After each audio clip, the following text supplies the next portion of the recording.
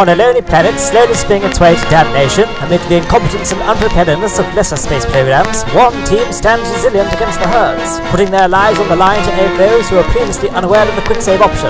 Yes, it's the incredible adventures of Jebediah and his crack team of Kerbonauts. They are the Blunderbirds.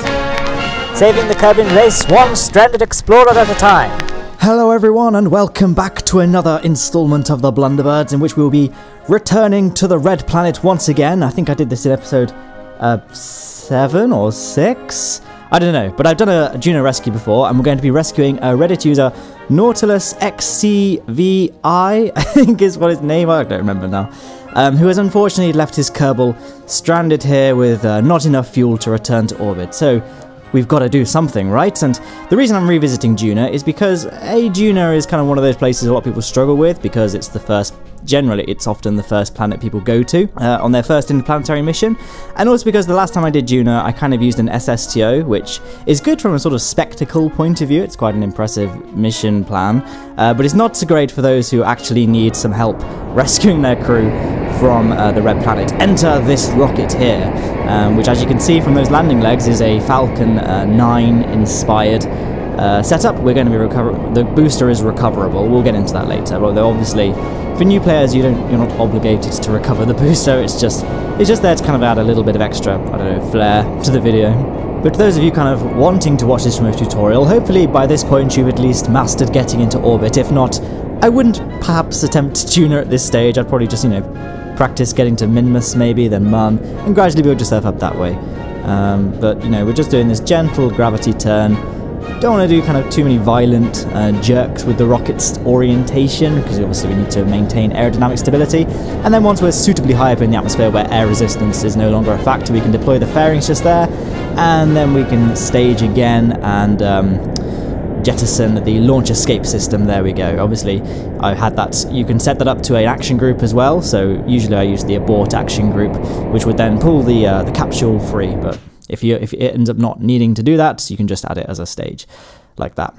And there we are. This player actually has a lot of things in orbit, so I have to quickly turn those off from the map view. We can do a quick puff to circularize, because as you can tell, this is an SSTO booster. It is possible to do Falcon 9 um, without having to make it an SSTO, but it's just very difficult to do. Um, and it's not really that feasible. It, I don't know. I, I, I, just I just have the patience to do it really. But there we are. And as you can see, this is an Apollo style because people seem to like my Apollo style missions. I mean, I think we've only got a limited number of times left before it's going to become quite tired, and we'll have to start varying it up again. So maybe I'll I'll cease doing Apollo style from now on, unless we did a, a moon mission or something, and you know just wanted to be faithfully recreating it. I don't know. Mun is the other. Oh yeah. The, by the way, on screen, this is me recovering the booster. The air brakes ended up exploding, and unfortunately, what I realized is those landing legs can't actually take the waste the weight of this thing. It's too heavy for the landing legs. So I did hit it quite violently on this occasion, but I tried several times to get it to land, and it just turns out those landing legs just can't. They can't take the weight, sadly. So um, work is needed. Probably need to add some more landing legs, or just build your own from the structural parts and things. So that was a shame. But hey, the engine bay survived, which is kind of would, would be the most expensive part, probably. I don't know. um, and from a career point of view, if you can save the engines, that'll save you a nice chunk of cash anyway. So it's not a complete loss and then we can start doing our escape burn from Kerbin. If we wanted to be really efficient, um, we could do several burns at periapsis to maximise our use of the Oberth effect, thereby, you know, saving fuel. But this thing has, you know, a lot of fuel in it for what it needs to do. We, we have, I think I ended up, I ended the mission with like a thousand meters per second of delta V remaining, and that was through very inefficient flying as well. Like, hey, as you can see, we, we only did one burn at Kerbin periapsis, and on the way back, we rather than wait for a suitable transfer window, I just kind of forced a transfer window by doing um, some rather expensive uh, burns. So, you know. And again, like I say, we did the SSTO mission. This is the uh, easy mode version that's more sort of replicatable by less experienced players. So, you know, now we've got both we've got both ends of the spectrum covered. And then we obviously just time warp to a maneuver to correct our uh, correct our encounter. So we're actually going to be passing over the crashed lander. That's why we're not actually going for an equatorial orbit because we want our orbit line to, well, we want to have, we want there to be points on our orbit in which the lander we need to rescue passes below us, which wouldn't, which wouldn't occur on an equatorial orbit.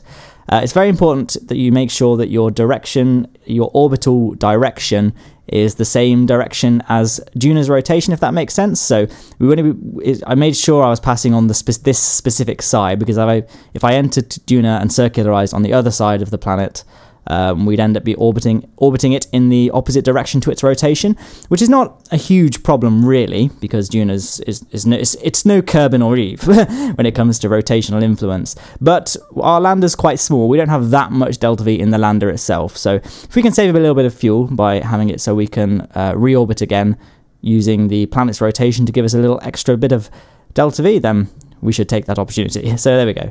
But it's it's not a great loss if you don't do it. And the great thing about Duna, um, which actually means that Duna, ironically somewhat, it, it, it, takes less fuel to circularize at Duna than it does for the Mun, I think, because Duna doesn't really take a significantly more, like, higher amount of fuel to reach versus the Mun. And uh, unlike the Mun, we don't need to do any burns to circularize. I mean, I did here, so this is a terrible example. But if you've got your aerobrake just right, you can just circularize entirely using Duna's atmosphere. So really, I mean, if you're if you're very frugal and efficient, you can get to Duna for like literally just over a kilometer of delta V. Uh, a kilometer per second of delta V, I think it's like 1.1 kilometers per second, although that is with very efficient flying. But there we are. Um, we kind of fast forwarded all the way through that, didn't we? So now we can just we've switched to the uh, crash lander and time warping to a point where we're passing underneath the rescue ship, and then we can just promptly switch back and prepare for our landing uh, procedure. So this would involve obviously um, we can only send one Kerbal down because our lander can has a capacity for only two, and of course we need to have a free seat available for the uh, the poor Kerbal that's on the surface. So we're just going to send Jeb down because he's the pilot at the end of the day. So we need to send our, our best pilot for such a difficult mission. It's not really that difficult. It's just a it's just a case of trial and error really. So if I were you, I'd do a quick save at this point and then just experiment doing various different sort of periapsis heights or you know uh, experimenting where your point of impact appears on the map and just kind of quick loading, quick saving until you can get yourself a nice close approach. There's not really a kind of tried and true. There's not really like a like just do this and it will work every time. It's more a case of just you know. Well, I mean there is, but I would recommend just you know keep practicing and you'll just get it. Um, or you could use the trajectories mod. That's another option which actually does accurately predict where you'll end up, and it takes into account atmospheric drag and all that. It's particularly popular for people doing Falcon 9 and Falcon Heavy recreations, but that's besides the point. So I wanted to just show that you can do it without that mod. It's just you just practice and quick save and quick load, and you can just it's it's quite easy. I kind of talked about this on my Eve rescue as well, like because that's a lot lot harder to get right because Eve is much bigger than Duna and its atmosphere is much more significant. And there we go. We landed pretty close. Not a bit of a bit of a bounce landing. This thing doesn't. Duna's atmosphere is not quite thick enough for uh, parachute landings alone to uh, be survivable generally. So just a little bit puff of the engine, but I got a bit overzealous and bounced on the surface. But doesn't matter. We survived. And then we could just you know fly the stranded ship over to us. It wasn't that far away. We have a little bit of fuel in there. It just wasn't enough to get into uh, get into orbit. And look at that. We can EVA his Kerbal and we can go and jeb over. So I'll go and quickly go and meet her. She's uh, well, I'm sure she's ecstatic. I'm sure she's ecstatic, but uh, not, not much. I haven't really got much in the way of you know things planned to say at this point. But there we go. And Jebediah can of course do the obligatory Blunderbird's flag plant because you know we've got to do that. And there's a little shot there. yeah, like I say, I, I kind of like the fact that these are a bit more sort of a relaxed like it's it's you can watch it and kind of figure out how what you're meant to do just by watching what's on screen and it's kind of a passive I like passive tutorial. Let's go with that. It's a passive tutorial. I'm not really going over the exact ins and outs and methodology behind every single maneuver but I'm hoping just by watching it you can get a feel for, what it is I'm doing but um, as I mentioned in last week's uh, video I was I'm going to be doing I'm going to be rebooting my save file which means I'll have to unlock the tech tree from scratch it won't be career mode it will just be science mode because ain't nobody got time for a career mode playthrough, let's face it. But as I'm unlocking the tech tree, I'll have to start with basic parts and build from the ground up, and I thought this would be a good opportunity to kind of discuss actual tutorially components. So I think one of them I would definitely like to do a tutorial on building space stations and orbital rendezvous, that sort of thing. I have kind of done that in other videos just as it happens, like Blunderbirds. I've done a lot of Apollo Star missions, and I've done uh, kind of a video aimed at sort of getting you better at docking by using Minmus, because Minmus is really easy to dock around. But I've never done like a full dedicated tutorial on LKO docking, so I think that would be nice. That'd be a nice thing to include, and a sort of detailed uh, Mun landing tutorial as well, though again, I, I, did do that quite recently, so perhaps not. But I've never done an interplanetary tutorial, and there's a couple I'd like to do. I think one would be kind of your first interplanetary mission, which I would recommend a, a probe to Eve, because Eve is super easy to get to and it's super easy to land on. Obviously, taking off is another thing, but if you're just sending a probe, it doesn't matter. And then maybe once you've done that, then build up to Duna, Duna returns, that sort of thing. Um, but if, if you guys have any other tutorial ideas, um, maybe not even KSP, um, what else can I uh, what else do I know things about? I can so I know how to solve a Rubik's cube. Maybe I'll just become a Rubik's cube tutorial channel. Would you guys like that? just in the middle of a Blunderbirds episode, we're like, now we're going to cut away to uh, to this part of the tutorial. But yeah, we've circularized, circularized there.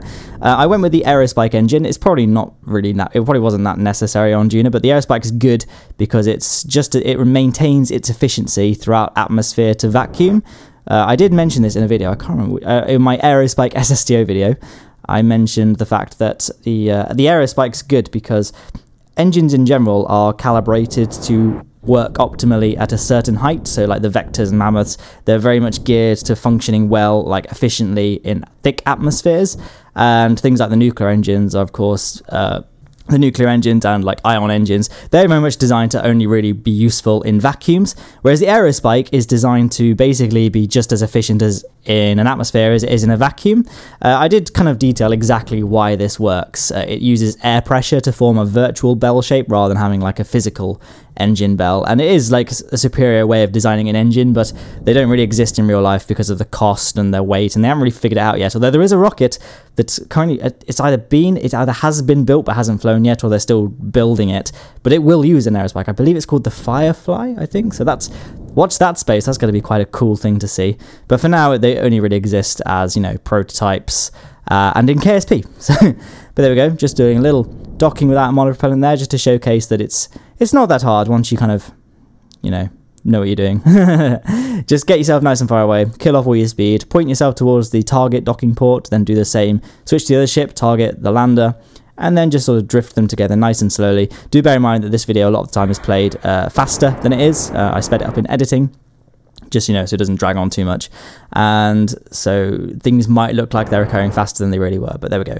We can just dump that lander because we don't want to leave any junk in someone else's save file.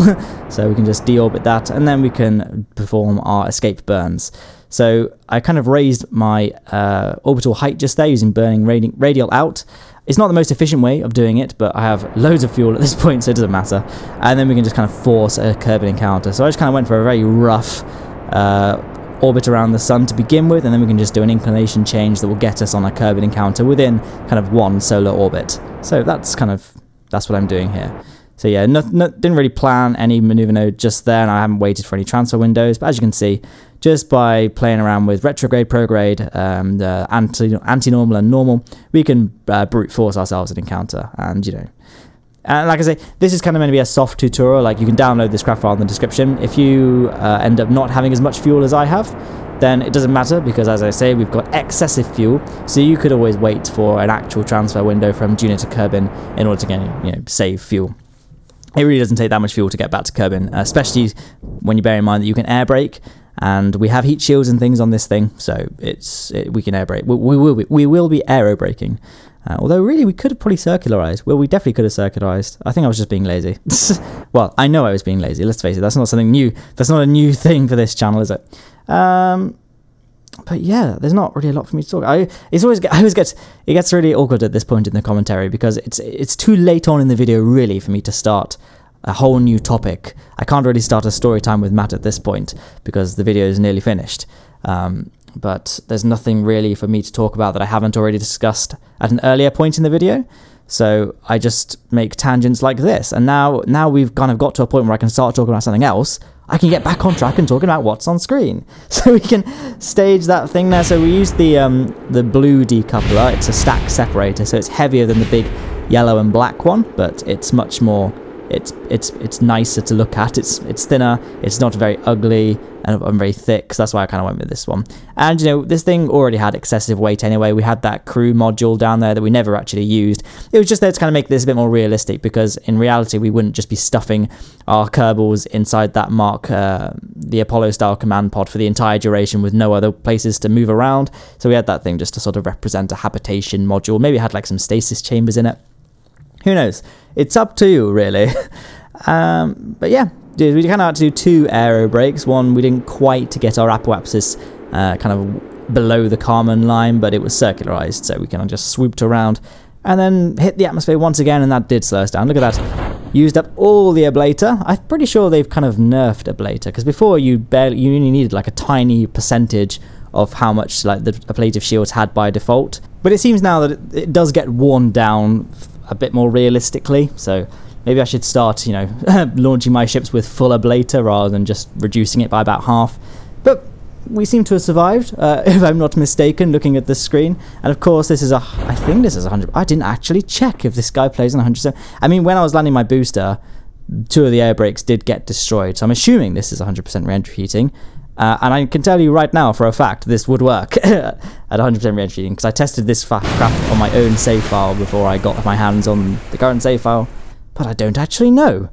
But regardless, like I say, this should work hopefully, and that's it. That's it. We've splashed down. There's nothing else for me to say really, except for what's on screen. Top left is the music video version for this video, if you want to check that out. Uh, top right is the full Blunderbirds playlist.